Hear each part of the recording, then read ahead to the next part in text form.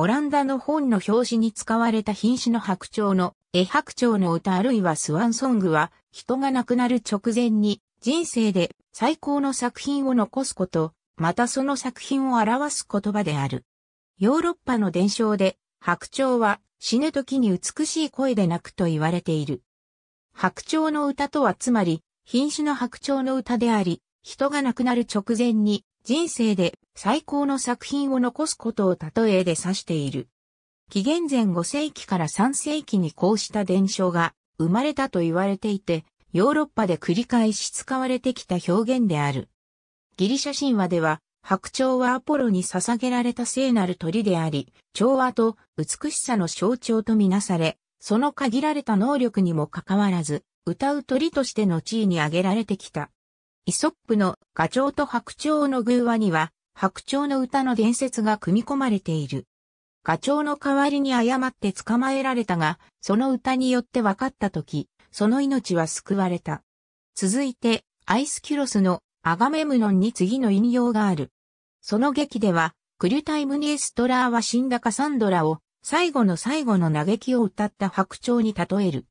プラトンのバイドンでは、ソクラテスが白鳥は普段歌うが死ぬ前に一番美しく歌うと言ったと記録している。さらに、アリストテレスは動物史で白鳥が音楽的であり、主に死の接近で歌うと述べた。紀元前3世紀までに、こうした信念はことわざになった。オイディウスはこれに、ピークスとカネエンスの物語で言及している。彼女は白鳥が歌っているように悲しみと調和して涙を流しながら悲しみの言葉を涙で流したあたかも白鳥が死に瀕して自分の弔いの歌を歌うように。白鳥はまた、詩人のウェルギリウスとマルティアリスの作品で歌う鳥として説明されている。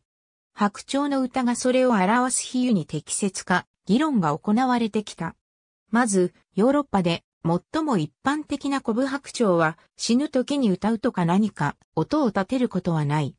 これは古代ローマのタイトダイプリニウスが博物史で研究している。